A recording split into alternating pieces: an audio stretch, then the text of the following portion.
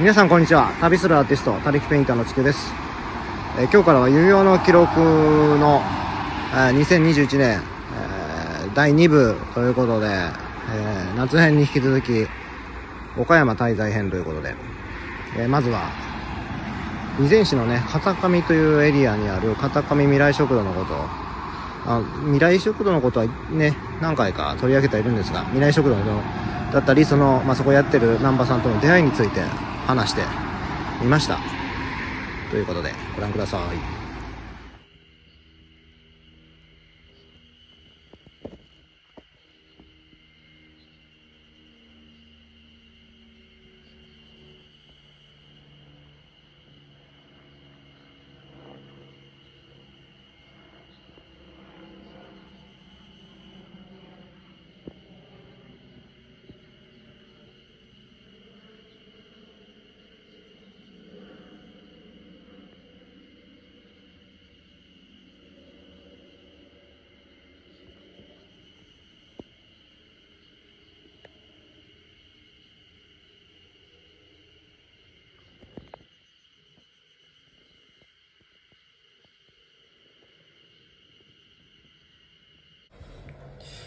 はい、ということで今日からは、えー、遊戯王の記録のね、えー新しい、えー、なんて言うんでしょう、えー第2部じゃないですけど、えー遊戯王の記録岡山滞在編ということで、まあ、ざっくり岡山って言っちゃってますけど、まあ、いたのはね、まあ、東美地域っていう岡山の東側だけなんで、山間、あの、山の方とか、えっ、と、岡山市とか、そんな、なんか倉敷とか、そういうとこ行ってるわけではないんですけど、まあでもね、一応、備前市というところに僕は、結局、うんと、この前の7月まで、4月末までは、えー住民票を置いてたんで、まあそうですね、去年の8月の20何日ぐらいからかな、だったんで、まあ約10ヶ月ぐらいか、ですかね。違う、10ヶ月じゃないか。えっ、と、まあ11ヶ月か。まあ約1年、えー在在籍というか、えっ、と、備前市に籍を置いてたんですけど、えーまあ備前市だけではなくてねその隣の瀬戸内市とかいろいろとこうあと和久、えー、和気町とかね行ったりとかもしてたので、まあ、その辺の話もちょっとエピソードとしてはとしてはしていきたいと思うので一応岡山滞在編ということで話していこうと思うんですけどまあそうだな。えっ、とまあね English Club そのえービ日生の English Club の話は結構もう何回もというかいろいろ紹介とかもしてるのでえーまあそうですね。最初にえっ、とまあこの前ね、えっと着いた時のそのずっと旅の旅をしてきて、えー、夜を出てからこう初めて到着した時の話ちらっとしましたけどまあそうですね。その後まあなんていうかえっ、とねいろいろ最初は1週間ぐらいは下のえっ、とまあ民泊というかねえっ、とスペースっていうですかね宿泊のスペースですね。1日一日ごとにあの泊まれるっていうか借りれる方のスペースを使ってたんですけど。ああまあそうですね。でそれで特にね、えーどうしようかなと思っててね、その、その時の話というか、結局その日々の話っていうのは、まあ出てきたらまたちょっといろいろ、あの、話していこうとは思うんですけど、まあそれよりね、今回は、えーっと、そうですね、これもまあ何回か紹介はしてますが、改めて片上未来食堂とか、まあその、そこをやってる南波さんの話だったりとかね、していきたいとは思ってます。うん、最近ちょっと連絡はあんま取り合ってないんですけど、でもすごくやっぱりなんだかんだ、かね、とてもお世話になった方で、難波さんはね。うん、で、それも、そうだな、日生に着いてから、その日生着いて English Club 滞在の多分、2日目とかもそのぐらいには、ね、その、大江さんのリリーさんが、たまたま、あの、あれなんですよ、えっ、と、日生のあたりっていうのは、えっ、と、まあ僕その時バイクは持ってたんですけど、結局バイクで結局、その、えっ、と、自分、自力でも行くようになるんですが、えっ、と、備前市っていうのが、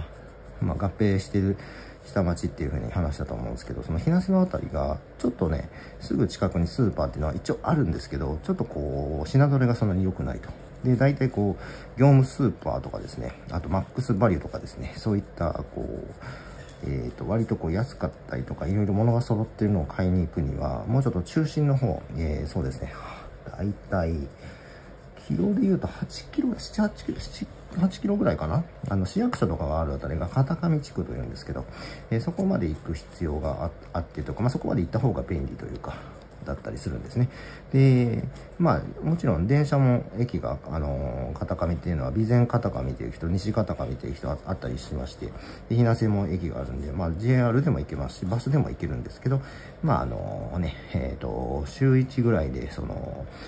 入居者の住民をこう乗せて買い出しに行くんだみたいなことを言われて今日行くけどこれから行くけど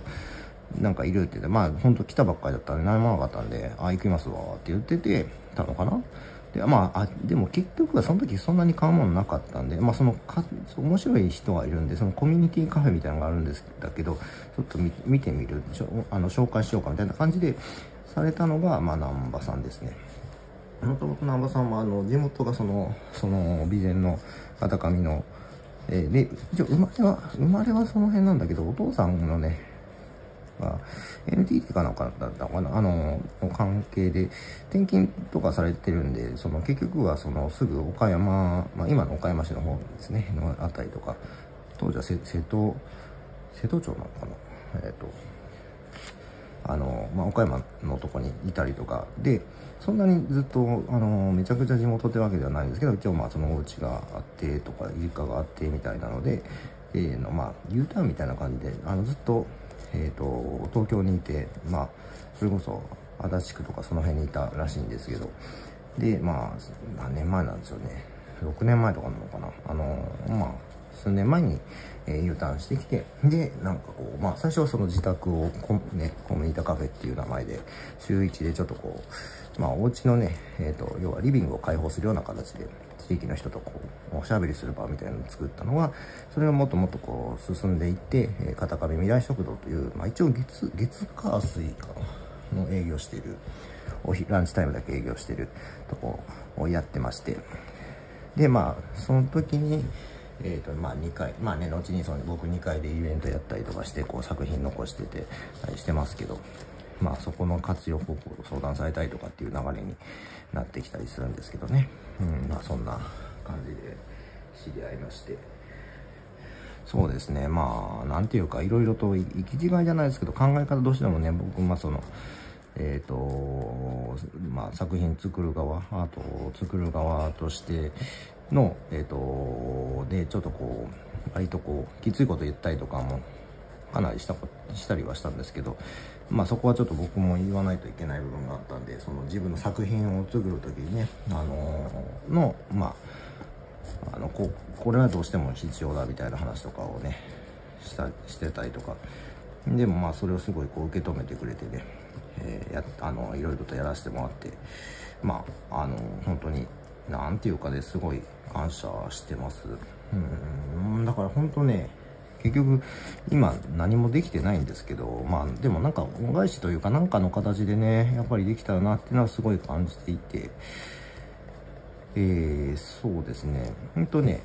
今日もまあね、今日もというか、昨日か、昨日もね、あのー、湯飲んで、その、お昼ご飯食べたりしてた時に、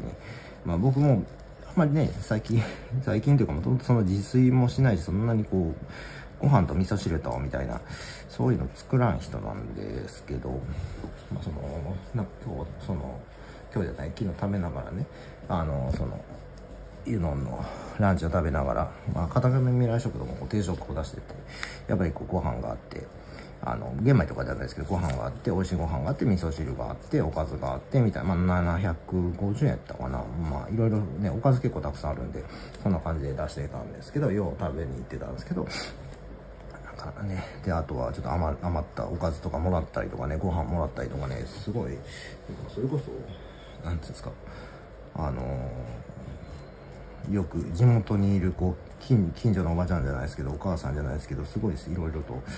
世話になってねっていうのを今思い出して本当にねなんかそういった意味でもね今までがこう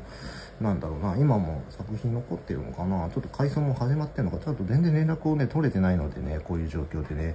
心苦しいんですけどね、やっぱもうちょっとこう動けるようになったらね、やっぱり、まあ、その、原付も本当は取りに行きたいところが、こう、体調もあったりとかで、ちょっとこう、動行動が制限されて、なかなかあっちの方に行けないっていうのがあって、それもなかなかきついんですけど、なんとかしてね、その動けるようになったらやっぱり行きたいなっていうのも、それもあってね、こうやってやっぱ思い出して話すっていうのも大事な作業だなと思ってやってるんですけど、そう、本当にその片上未来食堂っていうのはね、えっ、ー、と、まあイベントもね、今日オンラインでこう、ズーム繋いだりとかもするような感じで、あの、あとまあ現地で集まってみたいなイベントとか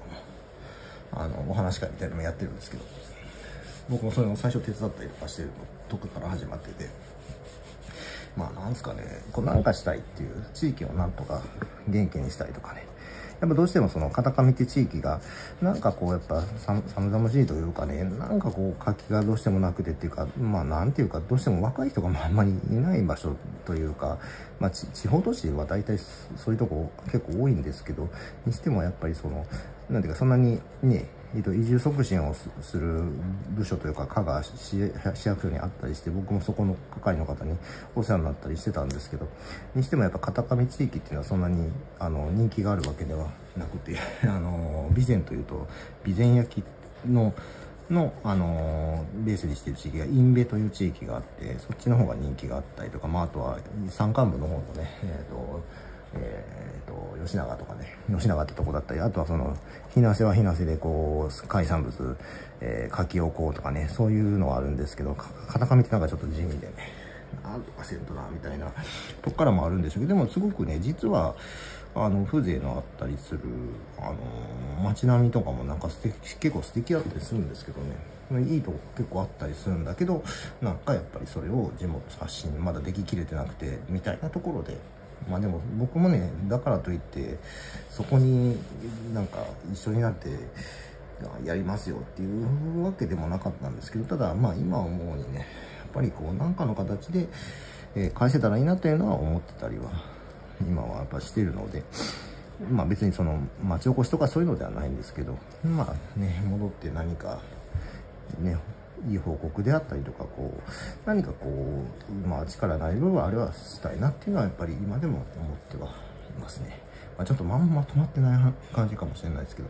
一応その、片上未来食堂っていうのに、ところに、割とこうね、早めに出会って、まあでもそこがやっぱりこう作品を作ったり、あの、発表したりする場所をね、あのもらったりもしたので、すごくいい機会もあったなっていうので、地域と、地域の人とも少し関わりを持ってたりとかね、すごくいい、本当滞在やったなって思ってます。まあそういった話もね、今後もちょくちょくしていきたいと思うので、はい、まあ、よろしくお願いします。ということで、今回この辺で終わります。旅するアーティスト、旅木ペインター、地球でした。どうもありがとうございました。